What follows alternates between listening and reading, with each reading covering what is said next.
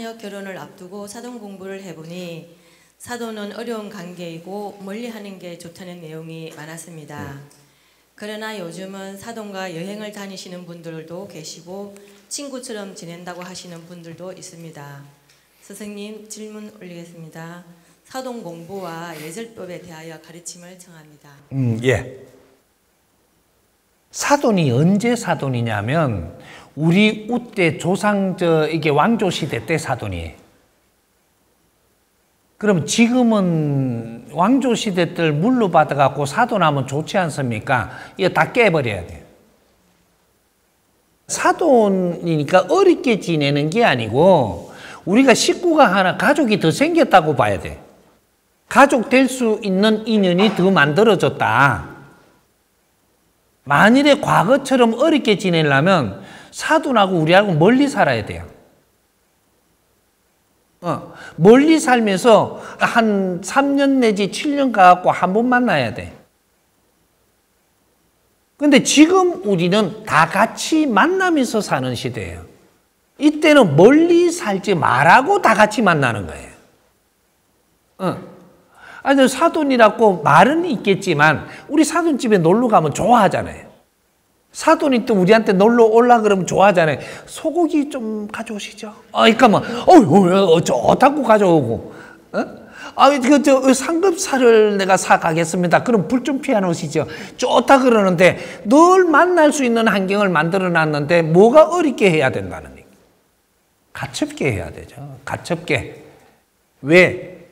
우리 딸아이를 우리 집에다가 시집 오게 한 게 아니고 우리 아이하고 같이 살게 해서 같이 사니까 그러면 우리 딸이에요. 우리 딸로 받아줘야지 이거는 남의 식구라고 해놓으면 안 되는 거죠 지금. 어. 지금 우리 여성들 사돈 뭐 이런 거 따지니까 여성들을 어떻게 해놨냐면 너는 객이에요 객. 어, 며느리가 말만 며느리지 너는 객이라니까. 어, 여기에는 네 신랑 집이고 어, 너는 여 와가지고 뭘 잘하면 그때 좀 봐주지 잘못하면 너는 항상 남인 거라. 그 신우가 항상 저 저 저 어, 저거한테 남이라고 그래 남. 남 보듯이. 지금은 이제 한 가족이 돼 가는 거예요. 가족이 돼 가니까 우리 어, 아들하고 같이 살면 저것도 우리 딸. 어, 우리 딸하고 같이 사니까 저 우리 아들. 요렇게 가야 되는 거예요. 양쪽이 부모가 한 분이 더 생기는 거지. 그렇게 하라고 갖췄게 해놓은 거예요. 음, 안 그러면 멀리 떨어져 놔야지. 어, 지금은 시집을 가는 시대가 아니고, 이제는 결혼하는 시대예요. 결혼하고 시집은 달라. 시집은 그 사람 집에 가는 거예요. 내가 시 집에 가서 살러 가는 거고 결혼을 하는 거는 내 남편하고 사는 거예요. 어, 여기 달라. 어, 이게 남편하고 잘 살면 어떻게 되냐?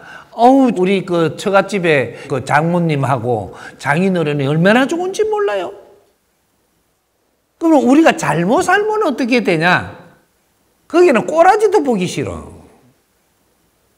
처갓집 쪽으로는 꼬라지도 보기 싫은 게라. 잘못 살면. 잘 살면 어떻게 되냐? 처갓집이 우리 집 끝에, 우리 집보다 더 나.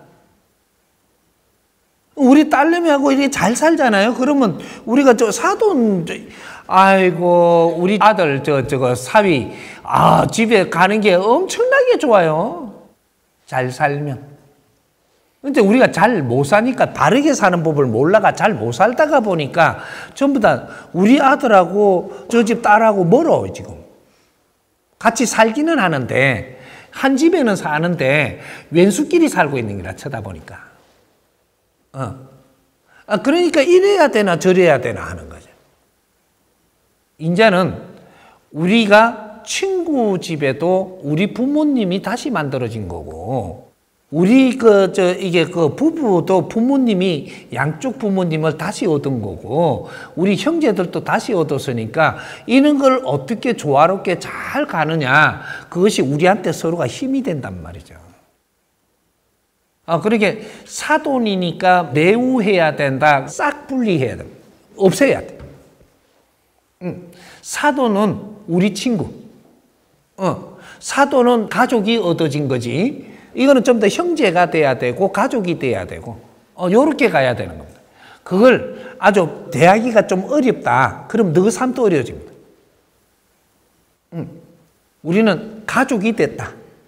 그러면 이 힘을 같이 이 꾸려나가야 돼. 이렇게. 아, 그것이 이제는 과거에 우리가 살 때하고 지금 살 때하고 모양이 다르기 때문에. 아, 그래서 이걸 한 품에 안고 가는 것이다. 아, 그래서 지금 과거에 우리 조상님들이 하던 걸 그대로 가져와갖고 그렇게 하려 그러니까 어, 밸런스가 안 맞는 거예요. 그래서 다 힘들어지는 거니까 어 이제는 만일에 우리 사돈한테요 내가 정법을 이게 듣다가 너무 좋아갖고 사돈한테 하, 이거 한번 들어보시죠 이래가 들었어 사돈이 너무 좋아갖고 이걸 들었어 내하고 늘 만날 거 안 같아요? 늘 만나요. 가족 돼버리 그냥. 어? 우리 신우한테도 마찬가지고. 어 전부 다 정법으로 통해버렸다. 아이고 이거는 너 신우도 아니고 이거는 같이 우리는 그냥 하나가 돼버려 그냥. 응, 관계성이. 그때부터 우리가 막 풀리는 거라.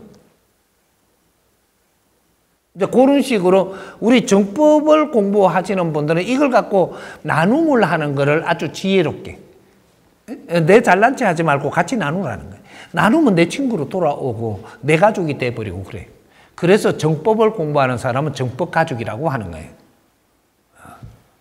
아, 그러니까 그런 거를 너무 척을 두지 마라. 그는 과거에 우리 역사에 있었던 걸로 생각을 해야 된다. 이렇게 하면 됩니다.